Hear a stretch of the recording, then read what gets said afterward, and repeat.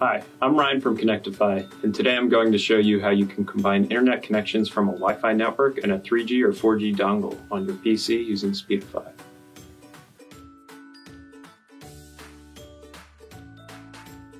Speedify is an intelligent VPN that can combine multiple different connections on your laptop or smartphone.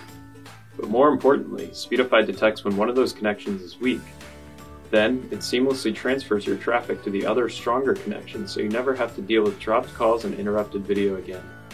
This technology is called channel bonding. Alright, let's get started.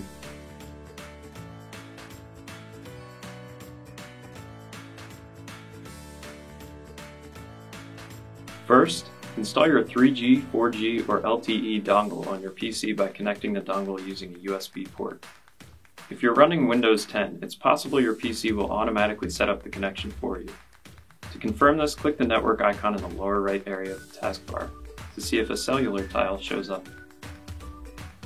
If this doesn't happen, make sure you run the installer program that came with the dongle. This may be directly on the dongle. Check out My Computer or This PC for any removable drives and run the setup program. You may be required to restart your PC after setting these up. Next, connect to the internet using the dongle. Make sure you run the proprietary software to connect to the internet if that exists.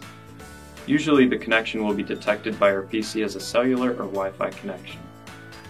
If you can't connect, check to see if Windows installed a cellular adapter.